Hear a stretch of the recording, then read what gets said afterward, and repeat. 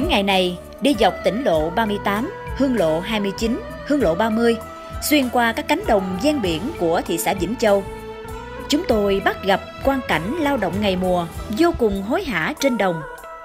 Những cánh đồng cải một màu xanh bạc ngàn trải dài xa tích tấp. Đó là củ cải trắng, một loại nông sản nổi tiếng ở Vĩnh Châu.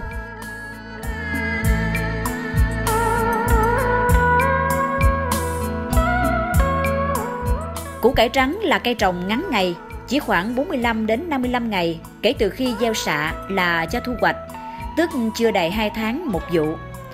Vì thế, nhiều nông dân chọn cách trồng củ cải trắng để tận dụng dòng quay của đất. Mỗi năm có thể trồng được 2-3 vụ.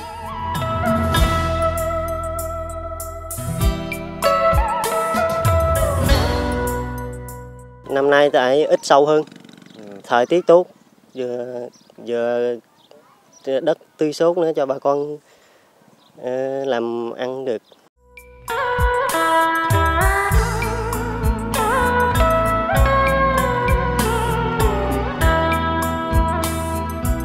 Theo tiếng địa phương, xá bấu nghĩa là củ cải muối. Phần lớn nông dân trồng củ cải trắng ở Vĩnh Châu là người Khmer, một số khác là người Hoa, sinh sống cộng cư, đoàn kết giúp nhau làm ăn, ổn định cuộc sống ở vùng đất này.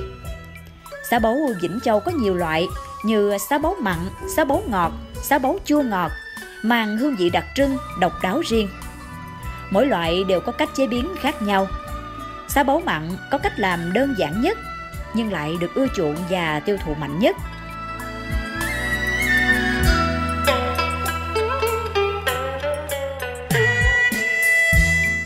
vừa làm vừa mua cũng khoảng chừng ba chục năm có rồi ạ.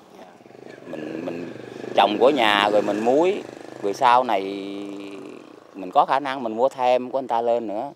Người dừa bây giờ thì cũng dừa hơi nhiều ạ. Ờ, trung bình khoảng 300 tấn. Năm nào cũng có chơ, có khi trên 300 còn ít thì cũng cỡ gần 300.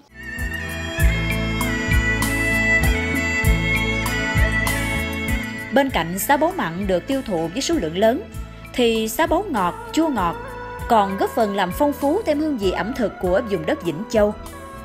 Chế biến xá bấu ngọt phải trải qua nhiều công đoạn. Người sản xuất phải ra đồng, tìm mua loại củ cải nhỏ có giá rẻ, về rửa sạch, sắc thành sợi nhỏ, thẳng và đều. Sau đó cho vào nia hoặc xề, liếp tre, phơi nắng.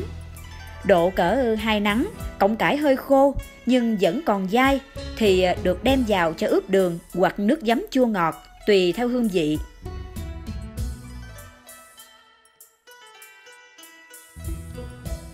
Đến Vĩnh Châu, tham quan tìm hiểu về nghề làm xá bấu, một sản phẩm độc đáo nổi tiếng của tỉnh Sóc Trăng.